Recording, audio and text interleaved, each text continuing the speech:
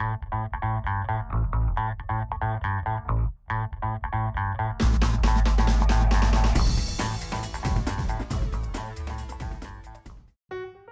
puppy sound. Ready? It goes like this. Puppy, puppy, here, here. so that's how we greet each other every time we meet up.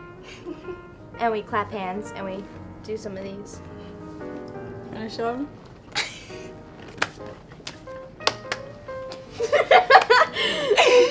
No, No, we actually don't do that. At all. I'm sorry. Anyway, That so bad Stormi and I are doing sh- Stormi and I are doing this blog together. So this is my last month before I'm done being Miss USA.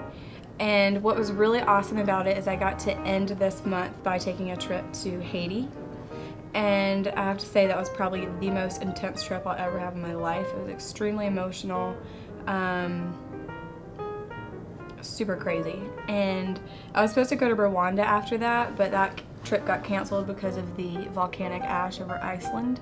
But the positive thing about that is now I actually can spend a little bit more time with my little sister Stormi. Um, we haven't really seen each other that la- that much because we're both so busy. Um, She's busy. I just. she just goes to school. Stormi, how are you gonna feel whenever I'm gone and you have a, a new big sister? Ugh, I hate that sound. It just sounds bad. I don't want to pass you down. You will always be my Miss USA. Really? Yes. I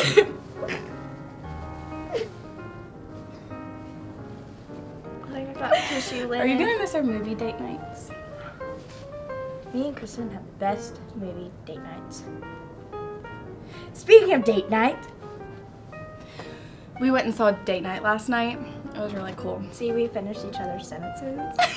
That's so cute. The thing I'm gonna miss most about Kristen, puppy, is that We call each other puppy. You didn't figure that out. and she calls me stupid, and I call her fat.